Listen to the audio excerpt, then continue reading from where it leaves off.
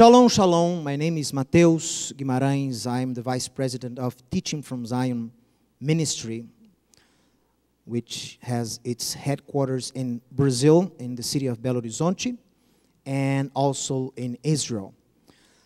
Our ministry is dedicated to the restoration of Israel as well as the restoration of the church.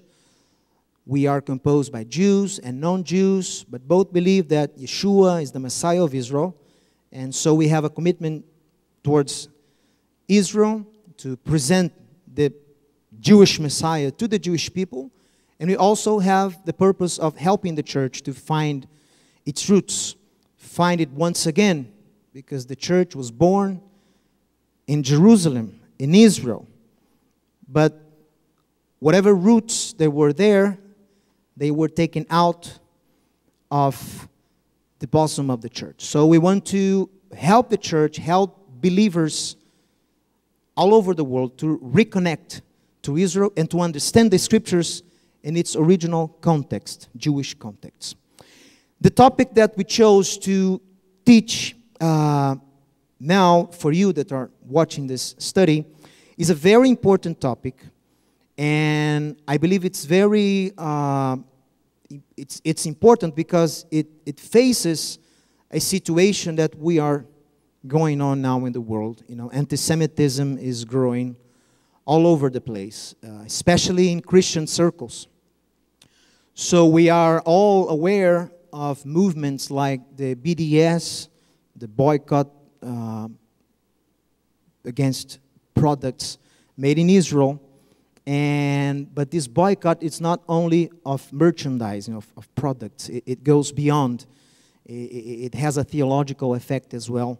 And we want to fight that and we want to present now the topic of this message which is the importance of israel for the return of the messiah. So is israel important for the return of yeshua of the messiah? So we will explain and we'll dig in this topic now. I want to uh, start telling you that if Israel has any importance to the believers today, when I say Israel, I don't mean the uh, concept of spiritual Israel. That is a concept very problematic. Uh, so we don't use it very much. Actually, I don't use it at all because I believe that Israel is Israel. And, uh, and also, the Apostle Paul believes that Israel is, is Israel. But there is a remnant of Israel. And this Israel has a purpose given by God that needs and will be fulfilled. So let's check, according to the scriptures, what will be the importance of Israel. Before we talk about the importance of Israel for the return of Yeshua, the Messiah, let's talk about the importance of Israel for the church, for those that serve God, the God of Israel, and his son Yeshua, but are not Jews. And we start, I want you to open your Bible in, in the book of Romans, um, chapter 3.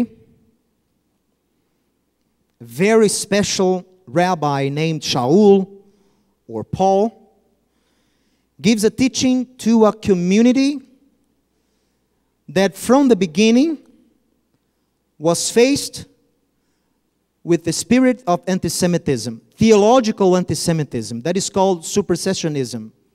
Supersessionism is the idea that Israel was superseded, was replaced by the church, by the Gentile group uh, part of the church. So they replaced Israel regarding the promises, regarding the election, regarding the uh, future prophecies, Israel was replaced, okay? And this community in Rome, they developed from very early stages a type of anti Semitism, of supersessionism, a type of replacement theology. And Paul is going to fight that in the book of Romans to teach this community that Israel has a very special place in the eyes of God. That although some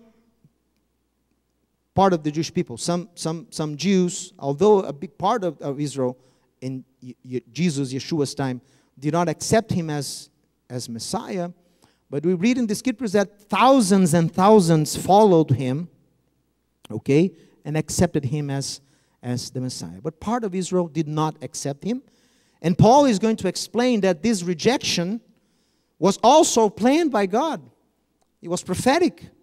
It was planned by God because this way the gospel, the good news, would be spread out towards the nations. It will come out from Israel and it will reach the nations by that rejection, not the rejection of the Jewish people by God, but the rejection of the Jews regarding the gospel. And that's temporary. Also, Paul is going to quote some, some prophecies that this rejection is temporary. Okay? So let's analyze some of the texts. Romans chapter 3, from verse 1. I will um, show here in the uh, PowerPoint presentation. So if you, you are watching this uh, study, you can also follow. So let's see the first uh, quotation from Romans chapter 3. It says like this What advantage then has the Jew, or what is the profit of circumcision? Much in every way, chiefly because to them were committed the oracles of God. So this is a very important verse. This is an amazing verse. Paul is asking the question as a rabbi and he's answering. Okay? What advantage does the Jew have? This was a, a, a, probably a question being asked by the Romans. If Paul is addressing this issue, they were asking this kind of question. What advantage Israel has? I mean, they rejected Messiah. You know. They're, they're, they're, they're facing, they're under occupation. They are under Roman occupation. You know, they're humiliated. The leadership of Israel rejected Yeshua, so they don't deserve anything. What advantage do, do they have? You know, what importance do they have? So Paul answers that much in every way. I love this expression much in every way. Because to them were committed the oracles of God, the prophets of God, the voice of God, the will of God. God reveals himself to humanity through Israel. If you want to know God, if you want to know who is God, you have to analyze and study the history of Israel. Because Israel was supposed to be a nation with the main purpose of reflecting God's glory, God's presence. So God chose Israel to reveal himself to the world. And that revelation was not fulfilled only with the coming of, of, of Yeshua, of Jesus that revelation continues to go. And there are many promises that involves, uh, involve Israel still to be fulfilled. Okay? So Paul answers this question Does, does the Jew have any advantage? Yes, much in every way. Because they were chosen by God, and the revelations that God gave to them is a very important revelation. You know, the history that God has with them is, is, is how you understand God. Okay? So, but there's another uh, passage from the same book of Romans. Now, Paul is getting more into the subject. Now he's starting to uh, fight, you know. Sometimes I, when I, when I study uh, Paul, especially in the book of Romans, I remember those old, those old uh, kung fu movies, you know. I don't know if you're familiar with these, these movies, especially Bruce Lee movies from the, from the late 60s and 70s.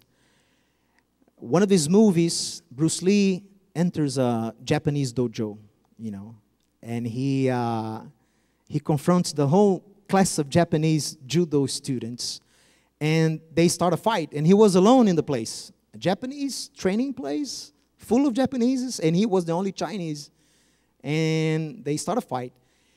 And Bruce Lee, the way he fights is very interesting. He, he kicks one here, he kicks one back there, he punches one here, he jumps and, and, and hit one other there, and he doesn't stop. Every time he's hitting in one direction. He's protecting himself, he's blocking, you know, and, and hitting at the same time, but in many directions. Same thing for me is in the book of Romans. Paul is dealing with a lot of subjects that he needs to confront and he needs to hit back. He needs to uh, give a, a counter argument and he does that in the book of Romans. So in, in, in chapter 3, he's dealing about the, the, the, advantage. You know, what advantage does the Jew have? Now in chapter 9, he's getting more uh, into the subject. He's getting deeper. And open now in Romans chapter 9 from verses 3 to 5.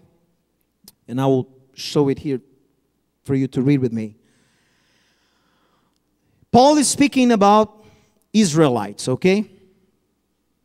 Paul is speaking about Jews that have not yet received Yeshua as their Messiah. So these are non believing Jews, non believing in Yeshua, okay? So the argument goes like this They are Israelites. To whom pertain the adoption? This verb is a very, it's not a, it's an ancient form, but, but pertain, I mean, it, it's, it's, it belongs to them, okay? It belongs to them. What belongs to them? The adoption. This is, this is, this is fantastic. I mean, they, they, the adoption was given to them. What is adoption? To be the daughter or son of someone. So they were given the promise, the covenant, to be God's people. Israel in the desert is called by God my firstborn. Jeremiah chapter 2 calls Israel my bride. These are very important expressions. They are not, you know, floating over by chance in the Bible. They have a meaning. And Paul is, Paul is using this, these verses to teach these Romans that although the Israel that you see that have rejected Yeshua, I mean, they are not, not they, they did not receive the good news, but although, in spite of the fact that they did not receive the good news, they are still, they still have the adoption. It's theirs. But not only that, to them pertain the glory. You see? The glory. The character of God, His glory, His power, His mercy, is shown by the history of Israel. You analyze Israel, you see God's glory. God is manifested inside the Jewish people, in, in, in Jewish history. The covenants, and, and, and, and plural. You see here, covenants, it's more than one. To them belong the covenants. And I would include here the new covenant as well. The new covenant was given to Israel, not to the church, not to the Gentiles. It, were, it was given to, the, to Israel and to the house of Israel and to the house of Judah. You just have to open your Bible in Jeremiah chapter 31, verse 31, and you will see very uh, uh, uh, uh, clear an explanation or revelation to the prophet of what was going to be the new covenant. And the new covenant was going to be made with the house of Israel and the house of Judah. And this new covenant was about getting the Torah, God's law, the instructions of God, taking it out of stones and putting it in people's heart and in people's mind. The same law. The law is not abolished. The law is taken from the stones and planted in our hearts. It becomes part of our nature. That's what it means. Okay? So the you can tell me the, the Abrahamic Abrahamic covenant, the Sinai covenant, you know, the Davidic covenant, the new covenant as well. All belongs to the Jews according to Paul. To them belongs the giving of the law. The law was given to Israel. Israel was supposed to reveal it to the world, to live it out, to give a testimony of, of the law so other nations could imitate, could emulate. To them belong the service of God, all the liturgies, all the psalms, you know, the psalms, the, the, the, the, the prophecies, the praises. Belongs to them, belongs to their history. And the promises, of whom are the fathers. And I would say that Paul is telling the Romans there that the patriarchs of the Jewish people, they have to be the patriarchs of the Gentile believers. If they believe in God, they become sons and daughters of Abraham. So Abraham is not only the, the father of the Jewish people, is also your father as well in the faith. Abraham, Abraham, Abraham has to be your father. If you want to belong to the kingdom, Abraham, Abraham has to be your father. There's no place in the kingdom of God for people that are not sons of Abraham. Only the uh, sons of Abraham have entrance to the kingdom of God.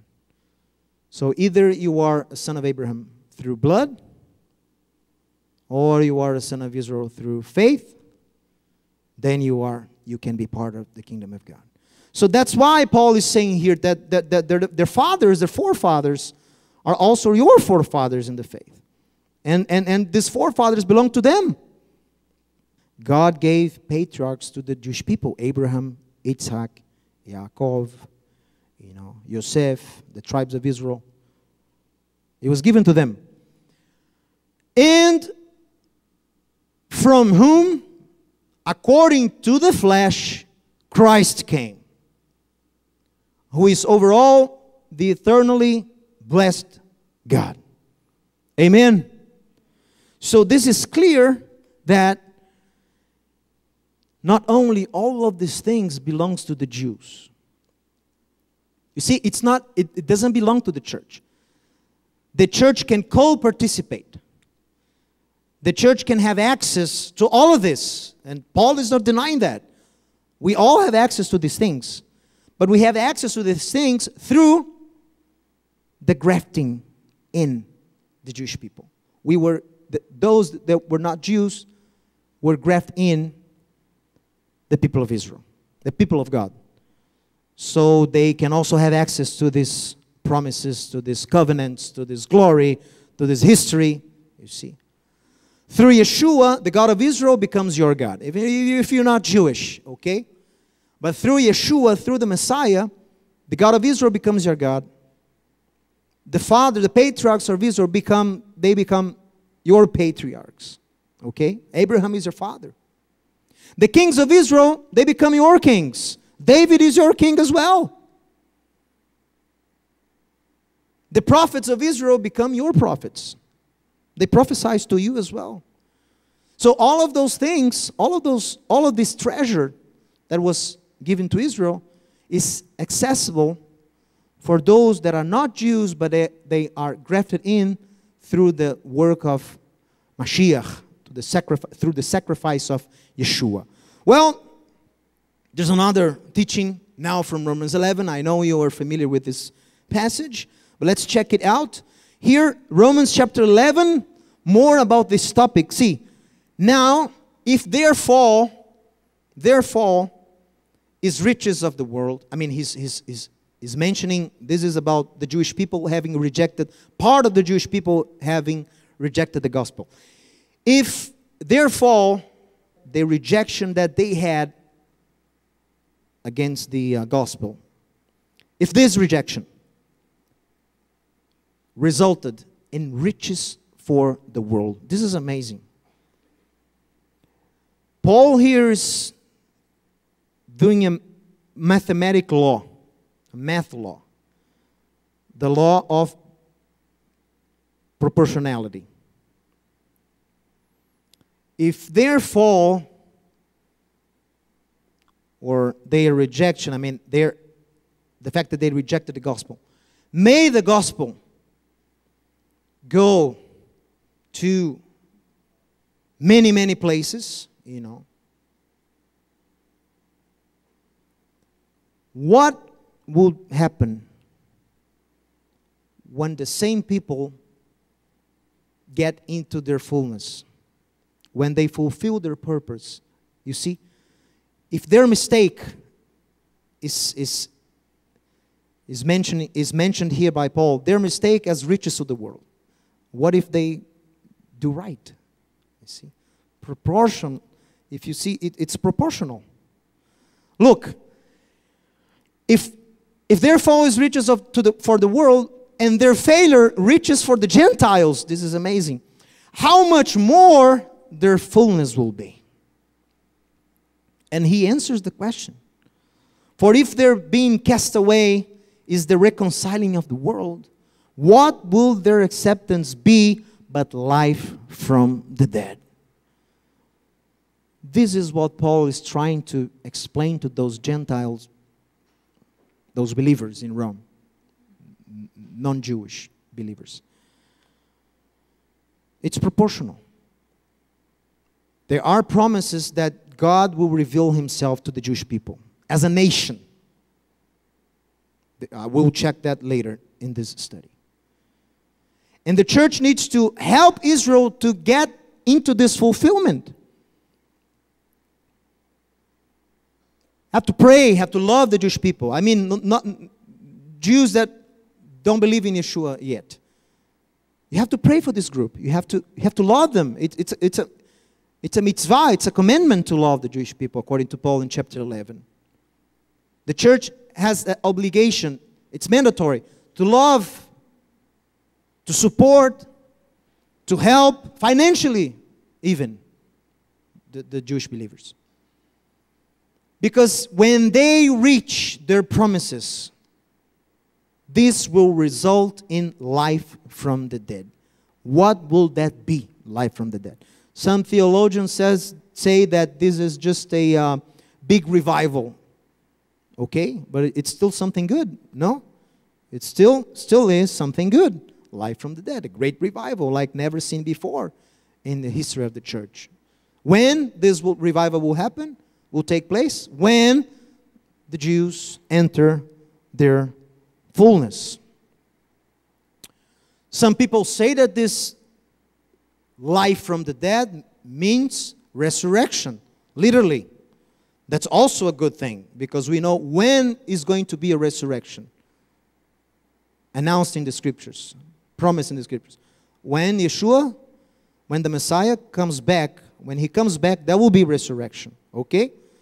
So if this text is, if this text is alluding to, to the return of the Messiah, so now we have it.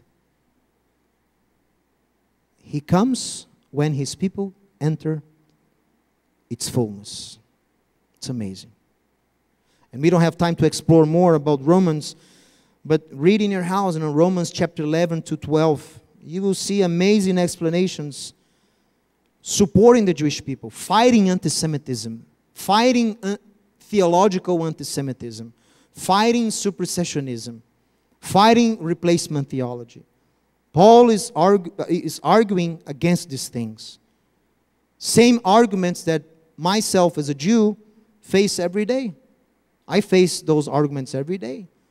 You know, it, it, sometimes people don't pay attention in what Paul writes. Well,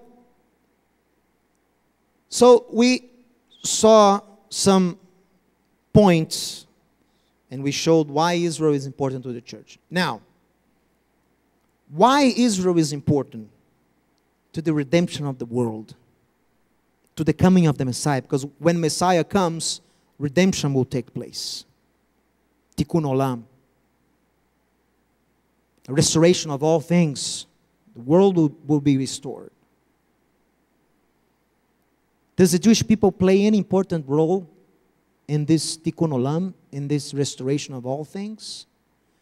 Does the Jewish people have any function? Are they important to bring this into fulfillment, this restoration of all things? Are they important for the return of the Messiah, which is the topic of our study? So, so now, now let's open our Bibles in Second Chronicles chapter 7. And I know you know this verse, but we, but we have to explain it, go deeper in this, these uh, words of God. To King Shlomo, Solomon, King Solomon was dedicating the temple in, in Jerusalem, in Mount Moriah he prayed to God that God would bless him and bless the, the, the temple, that God will uh, dwell, that his name will, would dwell in that place that he built, that his father envisioned and he built. And God answers the king. Okay? So Second Chronicles chapter 7 from verse 12 it says like this.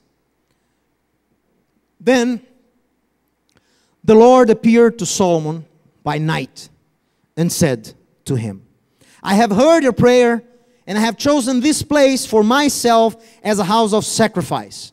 When I shut up heaven and there is no rain, or command the locusts to devour the land, or send pestilence among my people, in the situation of tribulation, if my people who are called by my name will humble themselves and pray and seek my face and turn from their wicked ways, then I will hear from heaven and I will forgive their sin and heal their land.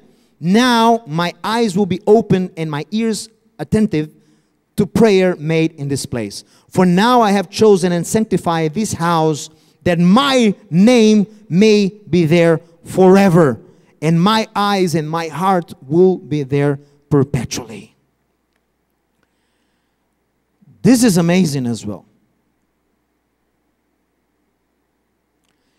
And you see, there is a principle here. What is the principle? It's a spiritual law, okay? It's a spiritual law. What is the law? The law is in times of tribulation and difficult times, whenever the people of God will humble themselves and pray and seek God's face and turn from their wicked ways, God will hear from heaven, forgive the sin, and heal the land. This is a principle. It works in every place of the world. Okay? It's not restricted specific to Israel. It works everywhere, and I've seen it. I've seen it. If God's people get together, unite, pray, repent, turn from their wicked ways, God will listen from heaven and will forgive the sin and will heal the land. Okay? Right. But the fact that this principle works, you cannot steal from Israel, you cannot take it out from Israel. The special place that Israel has. Because to them, this promise was given. Although you can apply it in every nation, you cannot deny that the promise was given and is still in effect. This promise is still in effect in Israel. And when it happens in Israel, it has a cosmological effect. It has a universal effect. It's a bomb, a good bomb. A good bomb. When this thing happened in Israel, there is forgiveness of sins and there is healing of the land.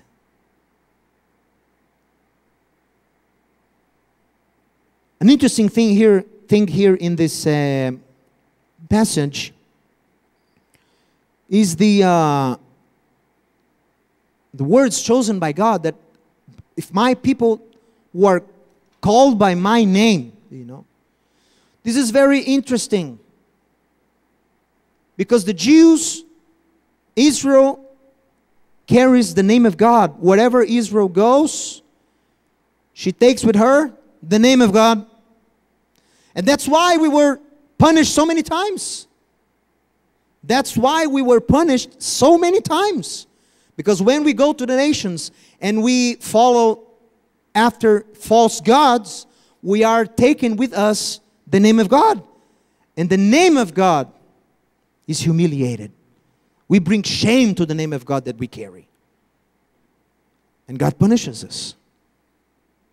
But what is this thing that, that, that, that we carried the name of God? You know? What is this? People that are called by my name. Does God have a name? Yes, of course, He has hundreds of names. He's called Elohim, He's called Adonai, the Lord, He's called El Shaddai, He's called uh, El Gibor. He's called El Elyon. He has many names, Matheus. Yes. But he also has a name, one name, a name. the name that he chooses to reveal himself to Moses. Okay? And that name reveals the identity, the character of God. It's a name that Jews do not pronounce today. It's a tetragram. Four letters, four consonants that form the name of God. It's the name of God. He has a name. Let's analyze something here. These people that are called by his name, that we will see now, what is his name? If these people pray, and, and it's interesting because the, the verb here in, in Hebrew to pray is lehit palel. Lehit, lehit palel means to mediate, to intercede, to mediate, okay? And that's the very uh, role of Israel, isn't it? When God formed Israel, was taking Israel out of the out of the out of Egypt through the desert. God tells them in Exodus chapter 19 that Israel is supposed to be a nation, a kingdom of priests. Mamlechet Kohanim in Hebrew. A, a, a, kingdom of priests. Not only the tribe of Levi, not only the sons of Aaron, the whole people, the whole nation was chosen to be a kingdom of priests, a holy nation, Goy Kodesh. So it's in, it's, it, it is in the very nature of the Jew to be a representative of God to the nations, to teach the nations how to worship God, how to, to reach God, you know, how to express, how to, how to understand God. Israel is also called light to the nations, you see. And the Messiah is also called light to the nations because the Messiah reflects all of the aspects of Israel. It's there are all of the responsibilities of Israel, they can be seen in Messiah's character and Messiah's life, in Yeshua's life. So, so Yeshua is the light to the nations. Yeshua is the, the Jew that keeps on, that, that, keep, that keeps fulfilling Israel's responsibilities. Yeshua is, a represent, is the best representative of the people of Israel, is the best, most famous Jew, Jew that have ever lived. His name is Yeshua. Some people call him Jesus, okay, but his name was Yeshua. Jesus was a transliteration, transliteration from, from, from from Hebrew to Greek to Latin. It's the same person, don't worry, it's the same person, okay? But his name was uh, Yeshua. He's, he's the best representative of God. He's the best representative of Israel. Israel spent, spent 40 years in the desert. How many days Yeshua spent in the desert before his ministry? 40. Israel was called from Egypt. Where was Yeshua called? Also, he went to Egypt with his, with his uh, mother and father. You know. So it's many, uh, many things parallel with uh, the life of the Messiah and the life of Israel. So, people that are called by my name. In Hebrew, it's a very interesting expression. It's Am, the people, Asher Nikra Shmi Alehem. Asher nikra shmi alehem. That, if, if we translate that literally, it will be something like the people whom my name is proclaimed over them. The people that carries my name in, in their nature, in their very being, they carry my name. Even if they're not aware, they carry it anyways. Okay? And if we analyze the Hebrew term, the Hebrew terms for, if you analyze the name of God and the name of, of, of, of, of, of the Jew, of, of, of Judah, we will see how connected those two are. God is connected to his people. God is faithful to his people, to his, to his promises made to his people. Starting in the name. Let's see. Look, this is a picture of Mount Moriah in the 10th century BC. Okay? BCE, before Common Era. Maybe in the times of King Solomon, I don't know. But Solomon was the one that expanded the walls to include Mount Moriah. Mount Moriah is right here to the top right. Okay? You see the temple here in the top right? There's the temple that he built. And he expanded the walls to go around Mount Moriah. Mount Moriah is this mountain here to the right. Okay? And on the bottom we'll have you have Mount Zion and the city of Jerusalem. Okay? So this is Mount Moriah, and this is a very special place, you know. Mount Moriah is a very special place. Because the promise, the promise that God gave to Israel includes the place, includes the people. It has to be the Jewish people, and has to be in the place that He has chosen.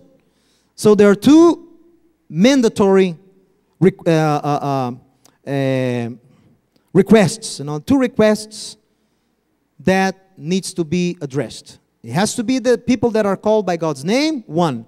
And it has to be in the place. They have to pray and they have to repent. They have to lehit palel in the place that God has chosen for his the dwelling of his name. Okay? Which is Mount Moriah. If we if we if we analyze the name Moriah, Moriah in Hebrew, okay? There's also something very special because this mountain was the same mountain that centuries before the father of the Jewish people took his only son to be sacrificed. Abraham took Isaac to Mount Moriah, to the place that God would show him. So it was already a place known in ancient times where God is revealed, where, where God the Creator is revealed. Before God reveals himself to Israel, he was known as God the Creator, the only God, the Creator. But within Israel, he starts a relationship. He gets more intimate with, with the Jewish people, so he reveals himself in other aspects as well. You know, he's known by other attributes. Elohim, El Elyon, El Shaddai. Huh? So we have many uh, names. But let's, let's analyze Moriah, okay? This is how it's written in Hebrew, Moriah. The Hebrew we read from right to left. So we have the letter Mem, M, uh, Resh, R, Yud, that's the I, and uh, letter Hey, okay? So Moriah, according to some research, according to some theologians, it's not just a name. Moriah reveals an identity. See, a name in the Hebrew Bible is not just a name, it's not the way you call things. A name reveals the identity of the thing, of the person. So when you when you when you come when you analyze, when you read a name in the scriptures, you have to analyze what it means in the, in the original language, the original Hebrew. Moriah is maybe a combination of some words. Maybe it is an acronym. Look, the mem comes from makom. Makom in Hebrew is place. You see here, mem. The resh comes from re, to see. The Yud Hey, the, the last two letters of the name Moriah, Yud and Hey, comes from what? The name of God. I, I wrote it here. This one here is the name of God, Yud Hey Vav Hey. It's a tetragram. It's the unpronounceable name. It's the most important name of the Bible. It's God's name. Okay? So Moriah would mean what? Makom Re'e Adonai. The place where God is seen. And has this name, we don't know who created this name, who gave this name, but the name existed in the times of Abraham. The place was already known by being a place where God is manifested. Moriah. So the place is also important, very important for what we'll see now. Well, you know about Moriah. That is an important place, you know. And God has not replaced this place. God has not rejected, God has not uh, corrected his words to Solomon, you know, and said, Oh, you know, that promise that I gave you, it's not like that anymore, you know. Uh, the place is. You, the place become the place has become a very uh, problematic place you know now you have uh, weird neighbors and um, it's too much violence, you know. I will not reveal myself anymore in that place. I would choose another place. Maybe a hill in Switzerland or, uh, you know, a mountain in Peru or something like this because it's, it's, it's more calm. You know, there today it became a very uh, problematic place. But this is the place today. That's Mount Moriah. The wall here that you see, it's called in Hebrew Kotel Maravi and the Western Wall. And uh, some Christians call it the Wailing Wall, but we Jews don't call it like that. You know, it's the place of prayer because it's, it's the closest we get to the temple, the, the, the, the Solomon's temple, okay? And this wall here was built by Herod, the king, the great Herod, the king.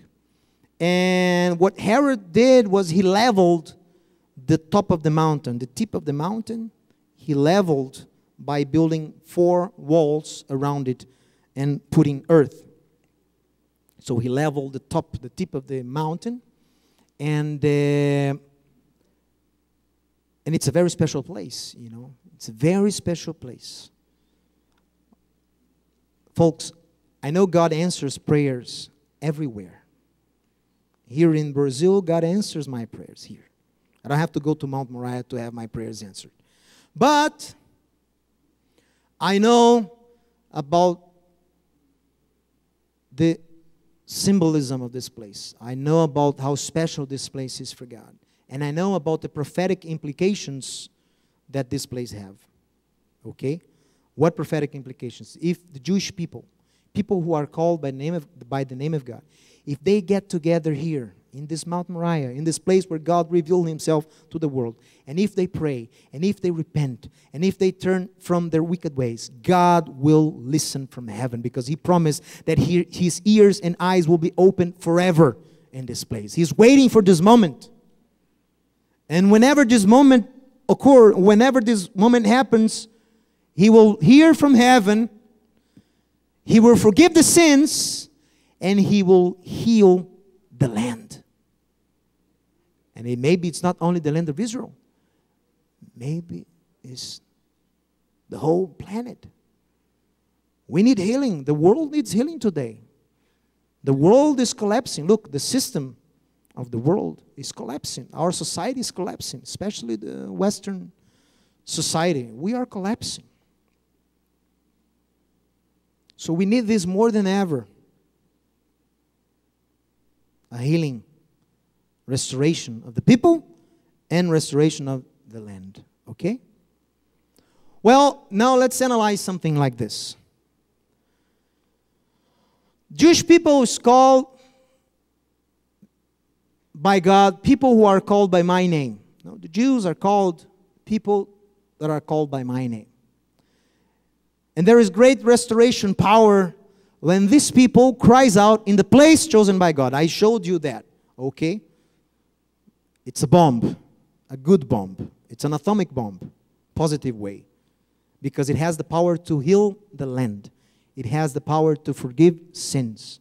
It has the power to start in our society something never seen before a revolution, a revival like never seen before. The Spirit of God, the Ruach, being poured out, the people of God, you know. Anyways, why is the Jewish people called people who are called by the name of God? Let's analyze this. This is the name of God from Exodus chapter 3, verse 15, revelation that God gave to Moses. God revealed himself to Moses by his name, not by his attributes. This revelation was given to Moses, and it, the name of God has four consonants, four letters Yud, He, Vav, He. I wrote them here in yellow color. And uh, some translations say it's uh, Jehovah, Jehovah, Jehovah, Yahweh, Yah. I saw many uh, transliterations of this name, but there are no translations. Because this name is actually, in my opinion, and I have many rabbis that think also like this, that this name is also an acronym, it's an abbreviation.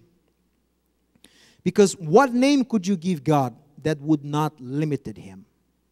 A name limit a person, right? A name limits the nature of a person. What name could we give God that would not limit him? Limit him. This name. This name is the junction, is the combination of the three times of the verb to be in Hebrew. The Yud stands for Iye. The He and the Vav stays for Hove. And the last He stands for Haya. Ye, Hove, Haya.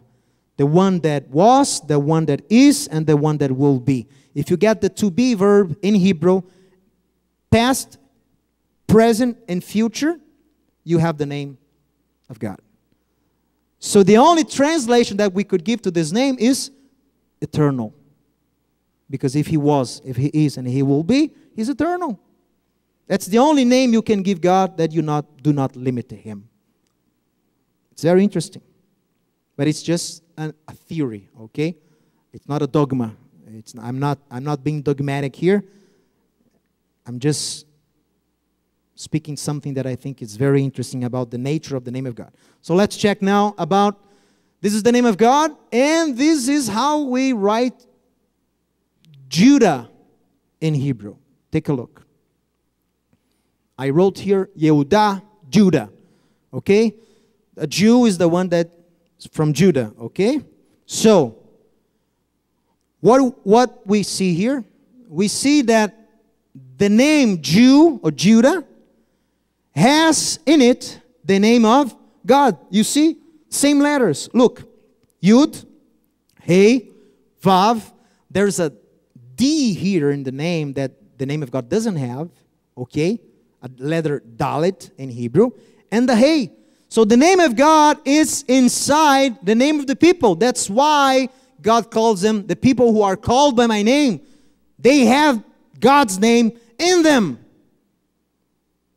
Even in the name, they, they carry the, the name of God. But what is this Dalet here, this letter D? What can it be? Uh, many rabbis say that uh, it can be the Dalet from, Dalet means door.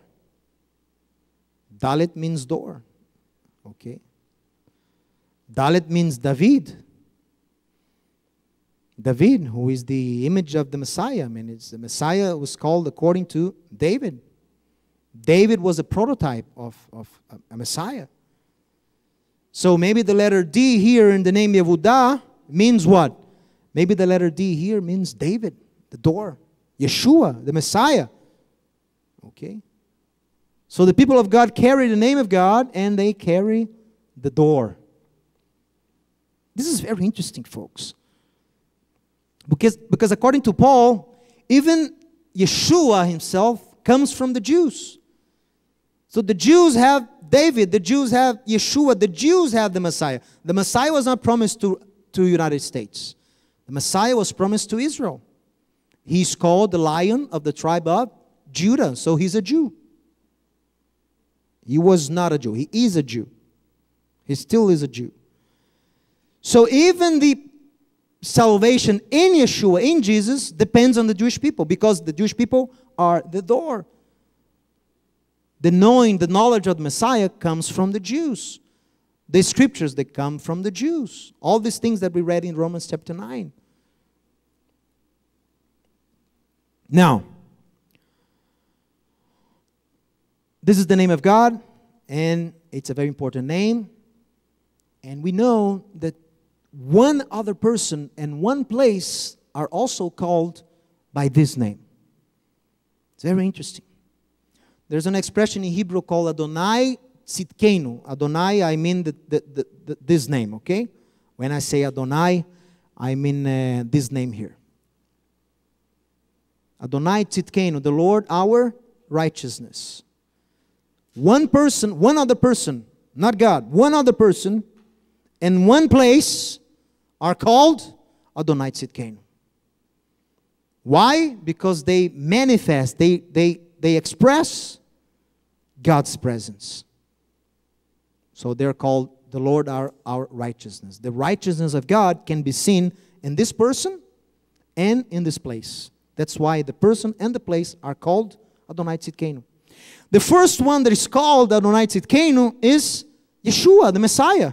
In Jeremiah chapter 23, verses 5 and 6, Jeremiah 23, I will read briefly. Verses 5 and 6. Look. Behold, the days are coming, says the Lord, that I will raise to David a branch of righteousness, and a king shall reign and prosper and execute judgment and righteousness in the earth. In his days, Judah will be saved, and Israel will dwell safely. Now, this is his name by which he will be called Adonai Yud-Heh Vav-Heh Tzidkenu, the Lord our righteousness. So Yeshua, the Messiah, is called by the name of God because he, he, he manifests God's glory. God's name, God's righteousness can be seen in him, in his works, in his uh, uh, preaching, in his teachings, in his life. The other one that is called Adonai Tzidkenu, if you go a little further, Jeremiah 33, chapter, uh, chapter 33, verse 14, it says, Behold, the days are coming, says the Lord, that I will perform the good things which I have promised to the house of Israel and to the house of Judah. In those days and at that time, I will cause to grow up to David a branch of righteousness. Again, he shall execute judgment and righteousness in the earth. In those days, Judah will be saved, and Jerusalem will dwell safely. And this is the name by which she will be called Adonai Tzidkenu, city of Jerusalem.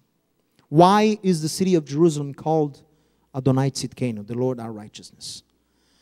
Because in Jerusalem, the glory of God will be seen. In Jerusalem, the manifestations of God will be seen again. The righteousness, the power, the glory of God. They can already be seen, but they will be seen in a much higher, bigger scale. Well, so let's summarize now. Look,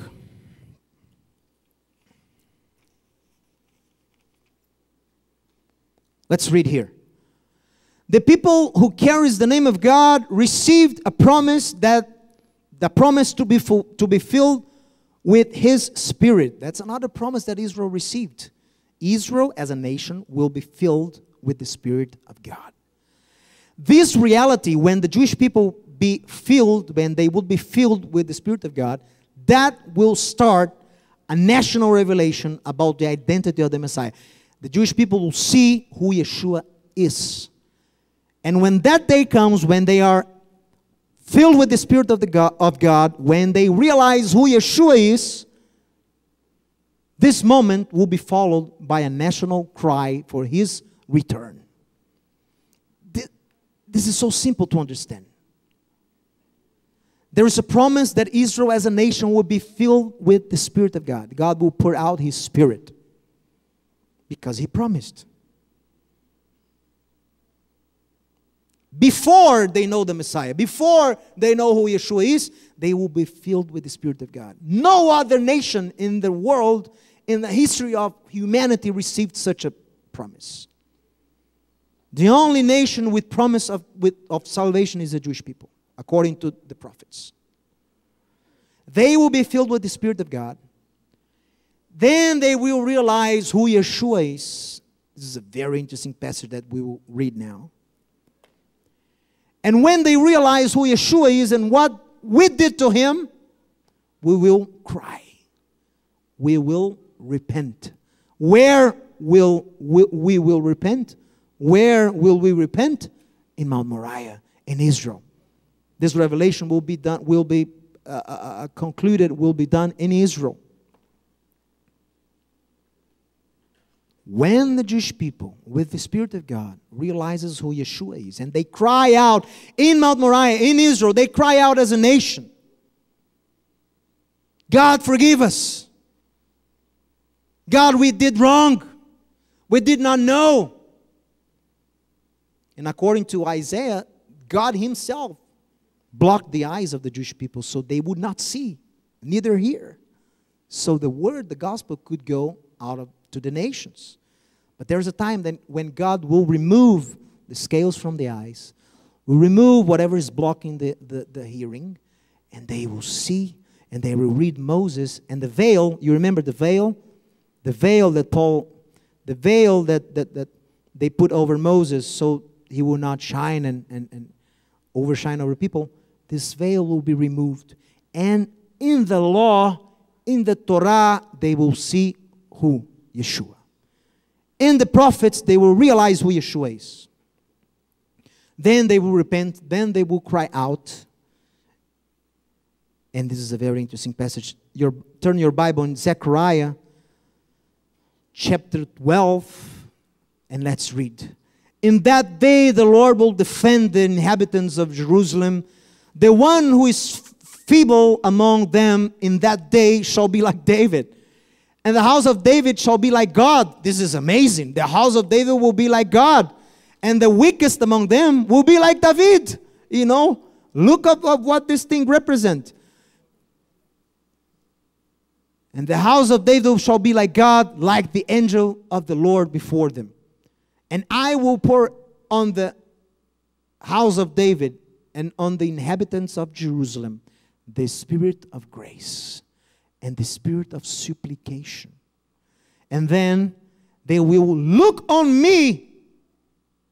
In Hebrew, I wrote there, Ve hibitu elai. They will look to me, whom they pierced, and they will mourn for him, as one mourns for his only son, and they will grieve for him, as one grieves for a firstborn.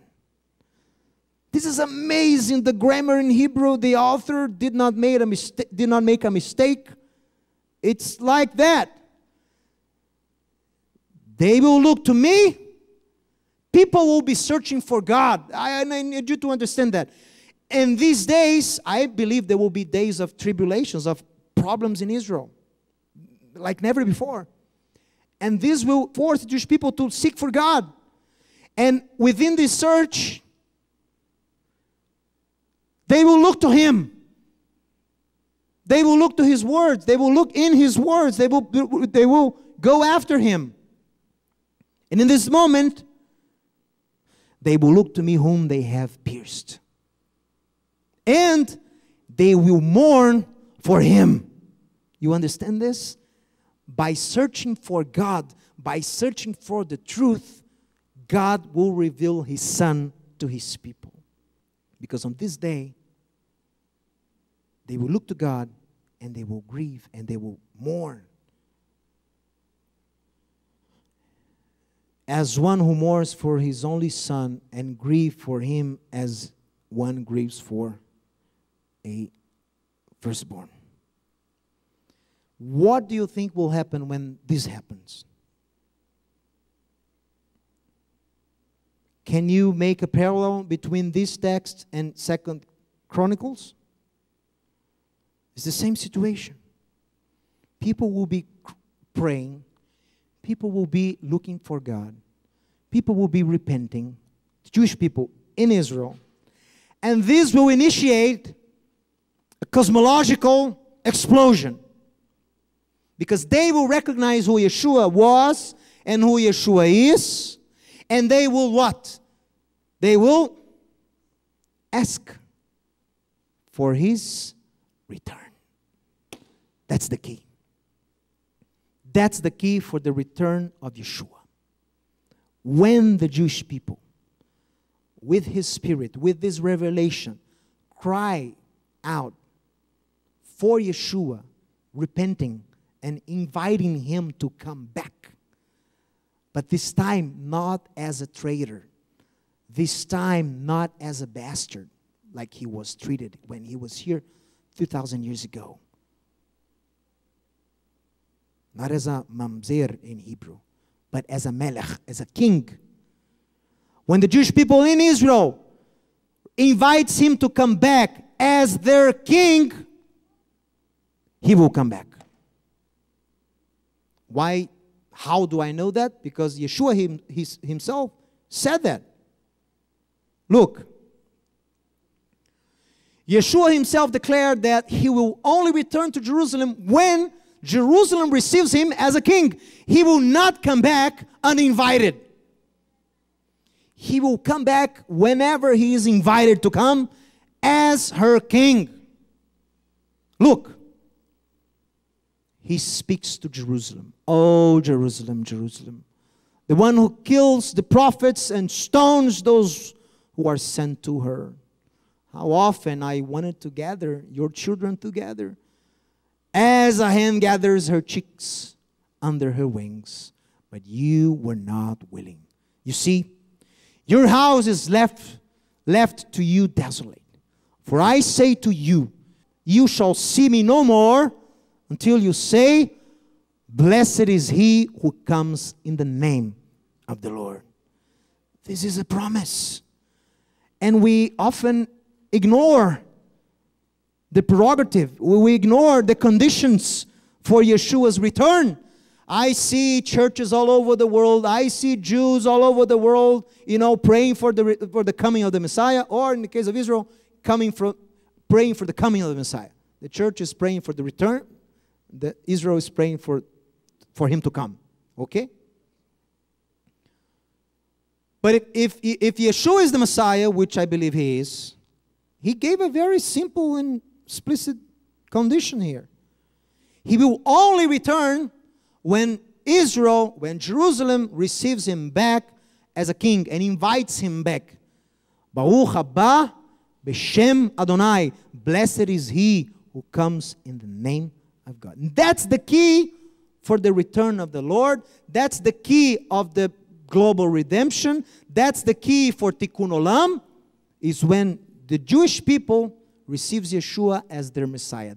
Apostle Paul says that uh, the church, the Gentile church, they need to uh, provoke the Jews to jealousy, right? Provoke to jealousy. The church needs to provoke Israel to jealousy. The church has provoked everything on the Jews except jealousy. They have created terror, intimidation, fear, but not jealousy. But the time will come when God will speak to his church. And this is already happening. People from all over the world, from different denominations, different backgrounds, believers, followers of God, disciples of Yeshua, they are turning back to the Bible. They're turning back to Jerusalem. They're turning back to Israel as the heirs of such promises and such responsibilities. And when this happened, when the church intercede and when the church love, when they love Israel, when they intercede for Israel, this will generate a movement in heaven that will cause this revelation to take place. That's the role of the church. Love, support, intercede, pray for the Jewish people. Most of all, help the Jewish believers because we were the ones that are the bridges. We are the bridges. We are connecting uh, our people back to, to, to, to their Messiah. We are connecting the church back to its roots. And a bridge is supposed to be stepped on. It's a very difficult situation. It's a very difficult position to be. We are attacked by Christian believers. Unfortunately, we are attacked by Christian believers by being Messianic Jews. We are attacked by our Jewish relatives who are not believers yet. They attack us, uh, uh, accuse us uh, of, of traitors, being traitors, because we are disciples of Yeshua. So we need the, the, the understanding of the church to pray for us, to help us. Help us. being this bridge, taking Yeshua back to his people. You know, Yeshua spent too much time in the diaspora, in the galut. We need to take him back to home, his house. We need to take him back home. He wants to go back home. Okay? So we end this presentation saying in Hebrew what we pray that Israel will say to him. And this day is coming. Folks, there are about 1 million Jews that are disciples of Yeshua today. There are more Jews, disciples of Yeshua today, than in the days of Yeshua himself, 2,000 years ago. So this is prophetic. And we are growing. And more and more churches are understanding their Jewish roots and they are restoring this relationship to Israel. So we all say in Hebrew, Baruch haba b'shem Adonai, blessed is he who comes in the name of God. Amen. May God bless all of you. Shalom, shalom, uvracha, peace and blessings to you.